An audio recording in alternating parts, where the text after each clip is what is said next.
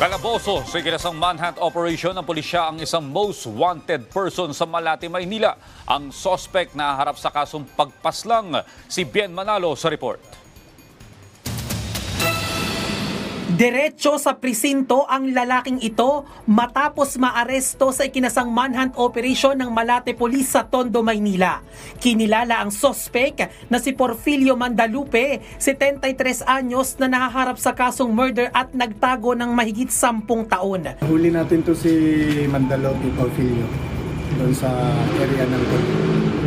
Matagal na kasi nagtatago. Almost 14 years na siyang nagtatago sa batas. Simula nung nakamit niya yung krimen. Sinubukan pa umanong umanib ng sospek sa makakaliwang grupo noong nagtatago pa ito. According sa kanya, nagtago siya sa probinsya ng Bicol. Ah, pumasok siya na bilang isang uh,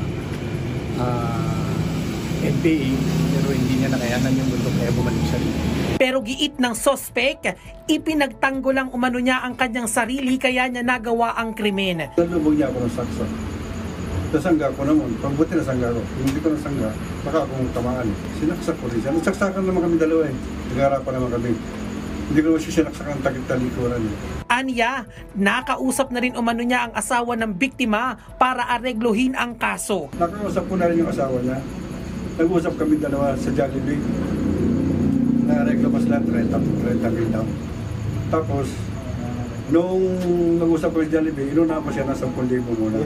At nang tanungin naman ang sospek, hinggil sa krimeng nagawa. Tanggap ko kasi kasalanan ko naman.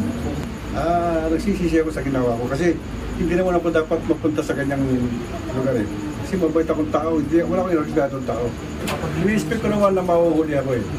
Hindi ko naman pagtataguan ng ito. Bien Manalo para sa Morning Show ng Bayan, Rise and Shine Pilipinas.